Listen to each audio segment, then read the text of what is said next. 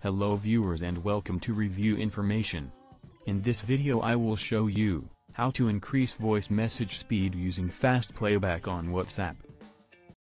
Subscribe to my channel and hit the bell icon to get notified any updates. To begin, open WhatsApp on your phone. Then go to a conversation with a voice message. Now play the voice message. Tap on the 1x on the right side of the voice message, to change the playback speed. After tapping once, the speed will increase to 1.5x.